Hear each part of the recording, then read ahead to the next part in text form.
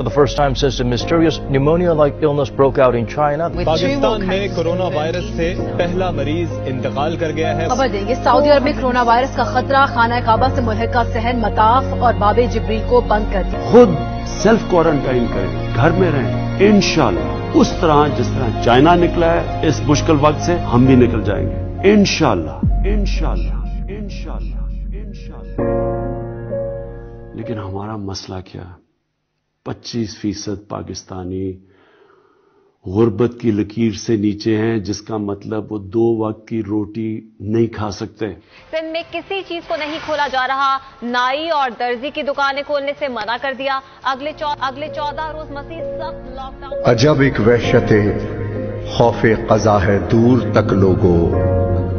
हिसारे मर्ग में सारी फजा है दूर तक लोगो। गली कूचों में शाहराहों पे आबादी में लर्जा है। कोरोनाई तमाशा मौत की वादी में लर्जा है। वादी में लर्जा है।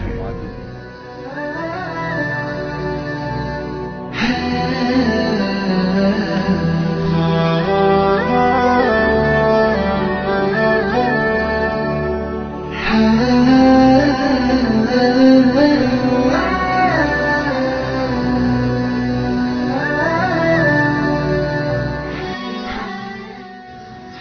सालों में एफटीपी हज़ारों घरानों को रमज़ान में राशन तकसीम करता आया है। इसी तरह इस साल भी हम आइंदा रमज़ान की तैयारियों में मसरूफ थे।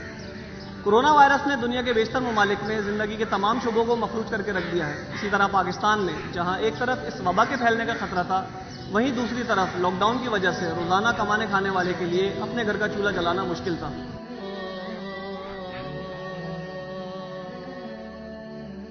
इस सारी सिचुएशन को देखते हुए हमारी टीम ने रमज़ान की तमाम तैयारियों को मौखर करके कोविड 19 की एक्टिविटीज़ पर फोकस करने का फैसला किया। हमारे बोर्ड मेंबर्स ने तीन क्रिटिकल डोमेन्स को हाईलाइट किया और उसकी टाइमली एग्जीक्यूशन के लिए टीम्स बनाई।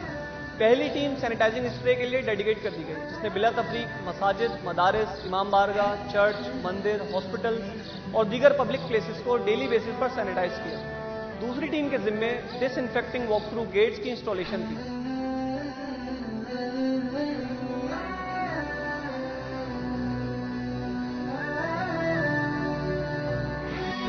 तीसरी टीम के जिम्मे राशन की परचेजिंग पैकिंग और डिस्ट्रीब्यूशन थी। हमारे लिए बड़ा चैलेंज राशन जमा करना और उसको सिर्फ़ तकसीम करना नहीं था, बल्कि डेली वेजर्स और सफ़ेद पोश लोगों को तलाश करना और उनकी सफ़ेद पोशी का भरम रखते हुए उन तक राशन पहुंचाना था। इस काम को जल्द अज जल्द अंजाम देने के लिए हमने हंगामी बुनियाद पर मजीद दो टीम्स की तश्कील दी।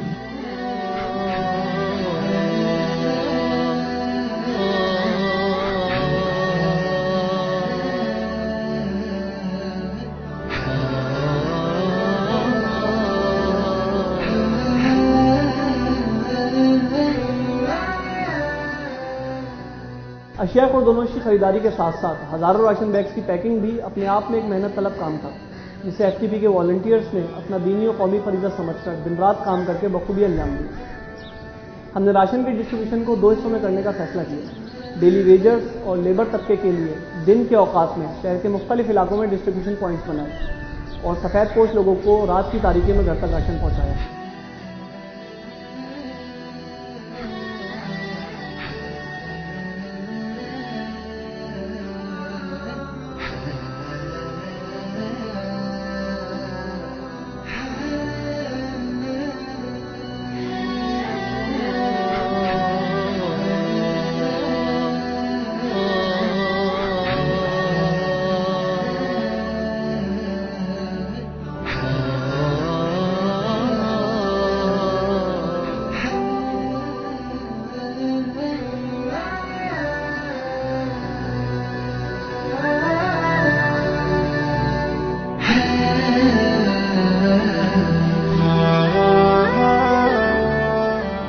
की गहराइयों से उन तमाम डोनर्स और वॉल्टियर्स का शुक्रिया अदा करते हैं, जिनके ताउन से हमने अब तक हज़ारों घरानों तक राशन फराम करा।